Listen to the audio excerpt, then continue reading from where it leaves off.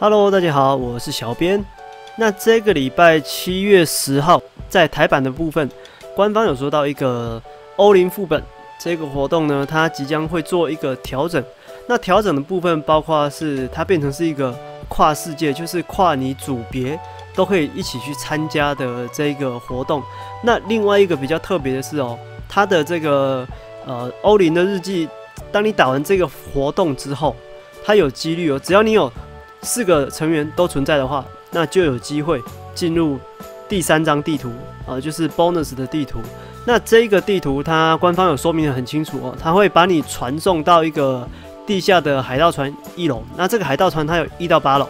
好，然后你进去之后，每一层楼都会有怪物，那每一层楼它会有三十秒的时间，所以在这三十秒的时间里面呢，简单来说，你就是要极尽你所能的去存活这样子，好，那六到八楼会有这个电极的这个陷阱等等的，那最后会掉一些什么武器强化卷轴、战斗卷轴，或者是祝福的什么卷轴这样子，那。其实我现在开这个韩版的这个活动啊，来体验给大家看，看看这一个活动，我们进去这个藏宝图的这个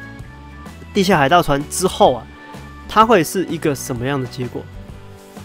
哦，那我们就把这个怪打完哦。好，第一只打完，看起来是，哇，连那个第一个算是连第。第二关啊，应该说第二关都没有。那我们再来换下一只来打。好，那下一只呢也组满了，一样是跨了不同世界的这个玩家在这个里面挑战。不过这个角色我其实我有点意外啊，有点意料之外的是，他进去了这个，待会他会进去这个新的活动地图。但是呢，我身上的装备其实是没有穿起来的。好，那我们一样。来把前面的这些怪物把它打一打，然后顺利的来往后面的关卡来前进。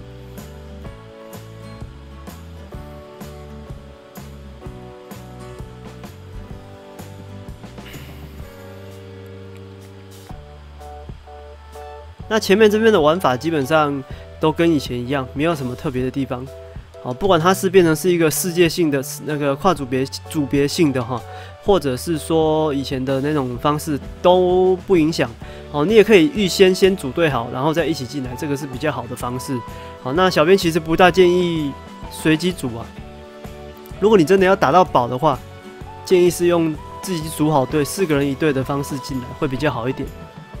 好，那我们进入了这个第二关哈，bonus 的这个第二关，然后这个跟目前台版的都一样，跟目前的设定都一样，就是打这个。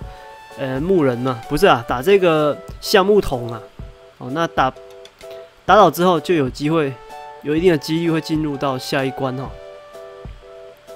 那很幸运也很不幸的，我们进到下一关，但是请大家看上面那三个人，哇，三个人通通都消失了，然后再看到我的血啊，好，在这个地图里面我们要撑三十秒才有办法过啊，但是很可惜的哈，我们连第一关都过不了。那为什么上面那三个人消失呢？